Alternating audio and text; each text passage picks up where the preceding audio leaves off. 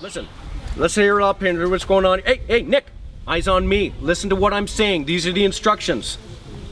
I need you guys to go over and grab a kayak, one person on each end, and none of that horseplay fooling around like you did like the last time.